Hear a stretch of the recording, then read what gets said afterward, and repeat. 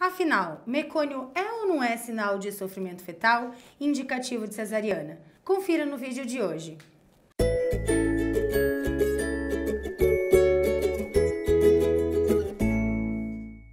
Vamos aproveitar que a gente falou sobre ruptura das bolsas, ruptura alta, ruptura clássica, trabalho de parto, falar de mecônio, que é uma dúvida bem frequente e tem a ver com o líquido amniótico? Pois bem, dentro da bolsinha, dentro do líquido amniótico, ele é transparente. O líquido normalmente é transparente, mas ele pode ter o aspecto meconial. O que, que significa mecônio? Significa fezes.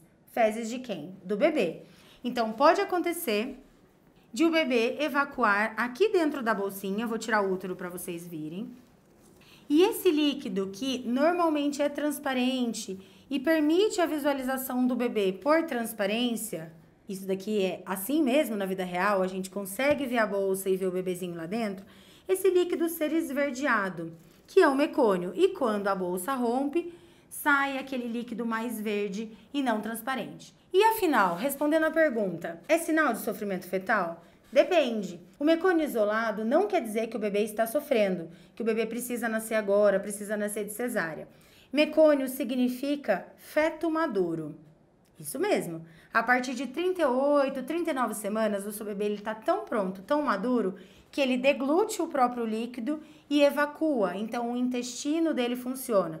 Todo o trato gastrointestinal que vem da boca, esôfago, estômago, intestino e ânus funciona.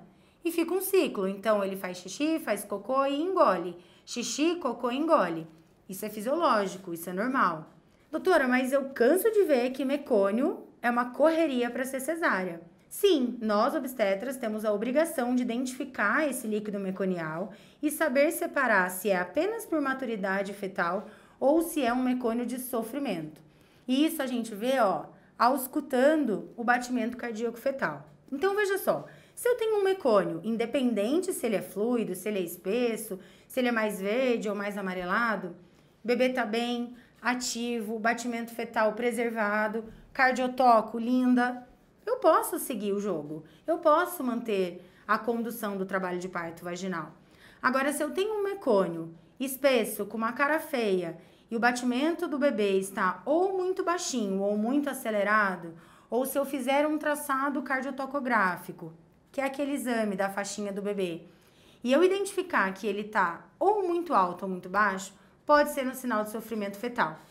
Então é óbvio, quem sabe identificar isso somos nós, obstetras, e muitas vezes uma cesárea salva o seu bebê. Então, em algumas situações raras, o mecônio pode ser indicativo de sofrimento fetal e pode ser indicativo de cesariano.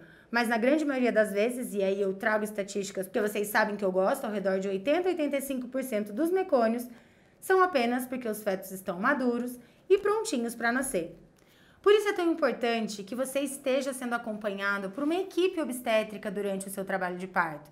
Com certeza, ter do seu lado uma equipe que vai te tranquilizar e te dizer está tudo bem, é um mecônio, mas a gente pode seguir o jogo, vai fazer com que você tenha mais calma para continuar o trabalho de parto. Agora, por outro lado, confie. Se o seu obstetra disser é um mecônio e a gente precisa fazer uma cesariana, com certeza é para salvar a vida do seu bebê. Gente, espero que estejam gostando. Curtam, compartilhem e até o próximo vídeo.